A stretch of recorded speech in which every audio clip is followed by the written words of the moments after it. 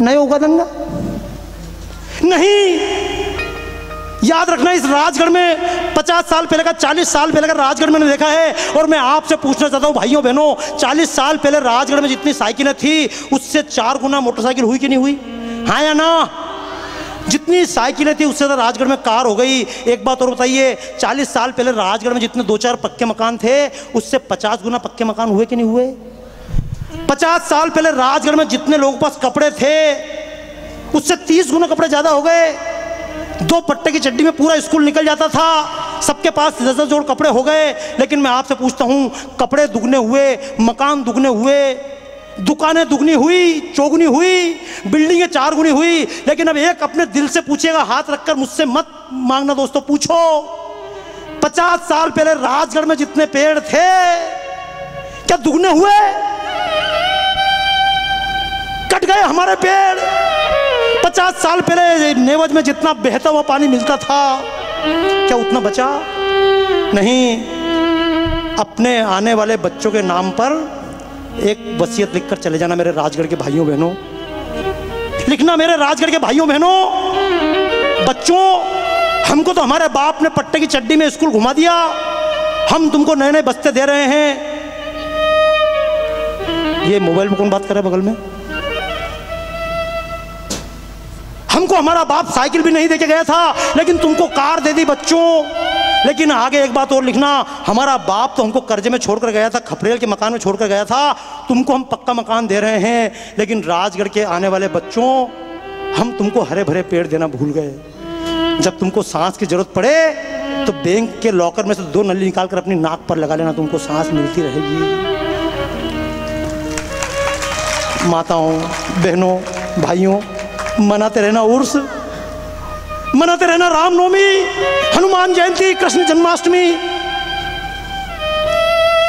लेकिन मैं आपसे पूछूँ कि कृष्ण जन्माष्टमी, रामनवमी, हनुमान जयंती मनाने से ये पेड़ फिर से आ जाएँगे?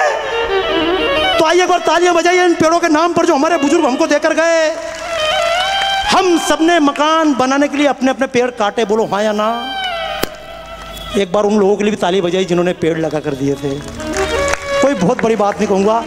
हो सकता है केला सेन ने कितना काम किया, मुझे पता नहीं, लेकिन केला सेन के पिता नाथू दादा ने पेड़ लगाया, वो खड़ा हुआ है ये दो, तीन पेड़ तालियाँ बजाओ उनके नाम पे। मुझे नहीं याद है, शक्ल भूल जाऊँगा, लेकिन ये पेड़ ज़िंदा रहेंगे, ये पेड़ क्या हैं? यही तो पेड़ हैं जो कार्बन डाइऑक्साइड का जहर पीते हैं और हमको अमृत देते हैं। ये आज के हमारे भगवान शंकर इनमें अगर जल नहीं डाला और शिवलिंग को पानी में डुबाते रहे, कर लेना पूजा।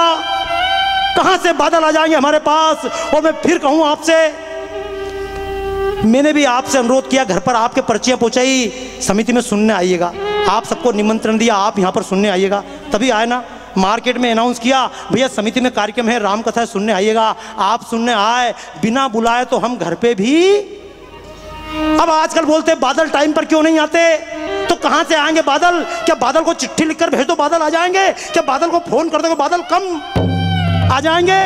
नहीं, दोस्तों, बादल धरती पर आने को तैयार हैं, लेकिन जब हम किसी को हाथ देकर बुलाते हैं, आओ भैया आओ भैया, नमस्ते, आओ आओ, किसी कोई हाथ देकर बुलाता है, तब हम किसी के घर जाते हैं तो मैं पूछूँ, इन उड़ने वाले बादलों को हाथ देकर कौन बुलाएगा? इन उड़ने वालों को हम कहेंगे काले मेघा काले मेघा, पानी तो बरसा। हमारे हाथ से बादल धरती पर नहीं आ सकते हैं। आएँगे तो बिल्कुल अनशंट टाइम पे आएँगे। जब ज़रूरत नहीं होगी तब आएँगे। और जब बुलाएँगे तब नहीं आएँगे। आइए, इन काले गहराते बादलों, जो बादल लहर रहे हैं। इन बादलों को ज़मीन पर कौन बुलाएगा? इन बादलों को ज़मीन पर बुलाने के लिए चाहिए धरती माता के हरे भरे हाथ।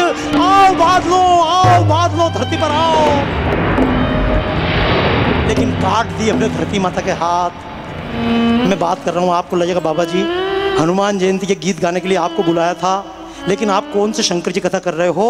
तो मैं कहूँगा, माताओं, बहनों हनुमान जी जिन शंकर के अवतार थे, उनने भी जहर पिया है। और आज भी समाज में जब लगे कि कोई व्यक्ति समाज के लिए दुख उठा रहा है, हाथ जोड़ लेना, कह लेना, यही भगवान शंकर है, क्यों? कहानी नहीं है, ये तो इतिहास है। कहानी नहीं है, ये तो इतिहास है। युगों को बदलने का ही प्रयास है। और भाव सेवा का मन में जब भी जगे, भाव सेवा का मन में जब भी जगे, समझो कि राम कहीं आसपास है। भाव सेवा का मन में जब भी जगे, समझो कि राम कहीं आसपास है। आओ कर्तव्य अपना निभा निभाएँ हम वाणी नहीं कर्म द्वारा गीत गाएँ हम